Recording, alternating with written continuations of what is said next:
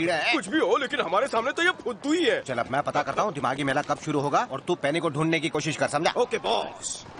Ladies and gentleman सभी दिमाग वाले अपनी आँखों से काम लें। किसी ने कहीं भी इस नाजुक सी प्यारी बच्ची को देखा है? आपने देखा इसे? खूबसूरत नाजुक कली है। देख के कुछ कुछ होता है।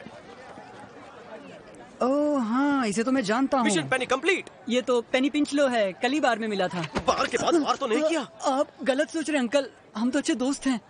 ओह अच्छा ये बता सकते हो मुझे वो कहाँ मिलेगी?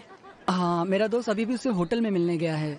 आज रात वो साइंस पर स्पीच देने वाली है। जब तुम उससे मिलो तो उसे कहना लॉयड और उसके डैड उससे मिलने आए हैं और उससे कहना कि मुझे फ़ोन करे।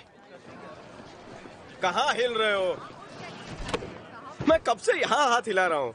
ओए। मुझे एक चमन चिंदी मिला था जो पैनी को जानता है। वो अपनी स्पीच देने जा रही है। चलना हम भी अंदर चलते हैं। इन गंदे कपड़ों में? हैरी जो धुले कपड़े में जाता है वो इज़्ज़त पाता है। और मुझे तेरी बेटी की किसी भी कीमत पर इज़्ज़त चाहिए। हाँ तो चल कहीं से ढंग के कपड़े लेकर आते हैं। ओह माय गुडनेस ये कोई मज़ाक तो नहीं है? हंड्रेड परसेंट श्योर हो ना? क्या बात है! मैं अभी किसी को उन्हें रिसीव करने भेजती हूँ। I call you later okay क्या हुआ? डॉक्टर डॉक्टर पिंचलो आ रहे हैं। क्या कह रही हो? मज़ाक तो नहीं कर रही? वो तो बीमार थे ना? हो सकता है कि वो ठीक हो गए और उनकी बेटी पेनी का फ़ोन आया और वो सीधे उनसे यहाँ मिलने आ रही है। वो तो अपने नोबेल अवार्ड फ़ंक्शन में भी नहीं आए थे। हाँ वो हमसे मिलने आ रहे जाओ ढूंढो उन्हें। अभी जाता हूँ।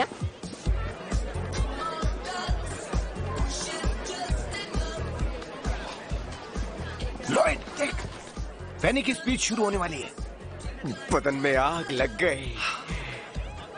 टिकट्स प्लीज़ नहीं शुक्रिया। हमें बोरिंग स्पीच सुनने का शौक नहीं है। हमें तो बस इसकी बेटी तक ये ज़रूरी डिब्बा पहुंचाना है। टिकट नहीं तो एंट्री नामुमकिन चाहे कोई भी हो। डॉक्टर पिंचलो कहीं दिखे? नहीं मैं तो जानता भी नहीं वो दिखते कैसे हैं? इतनी भीड़ में भला एक डॉक्टर को कैसे ढूंढूँगा? मुझे तो सिर्फ़ इतना पता है कि सुनने के लिए वो कानों में मशीन पहनते हैं। ले अब पैसे खत्म हो गए गए काम से। कपड़े ना खरीदते तो टिकट खरीद पाते रिलैक्स हैरी पेनी मिल जाएगी।